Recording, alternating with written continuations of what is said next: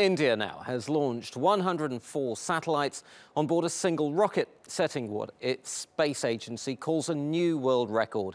Almost all the satellites are foreign owned and will serve international customers. It's part of India's plan to gain a bigger chunk of the $300 billion global space industry. Ben Tornquist reports.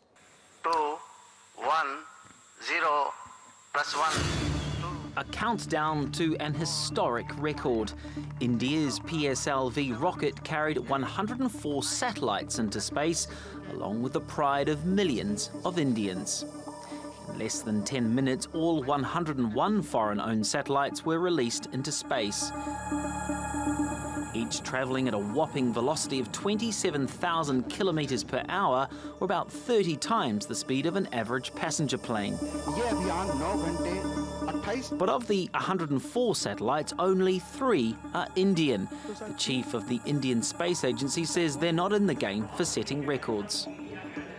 So it's not uh, whether it, we are crossing somebody else what they have put or what we have put as a record. It's primarily about improving our capability to maximize our returns. India sold space for 600 kilos on its rocket for more than $100 million, making it one of the most commercially successful launches ever.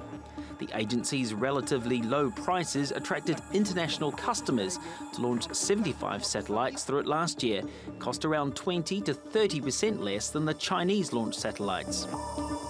India is considered new to the multi-billion dollar satellite launcher market, but with this latest mission, it has surely set an enviable benchmark. India now plans to send a maiden voyage to Venus in a few years. Ben Tornquist, TRT World.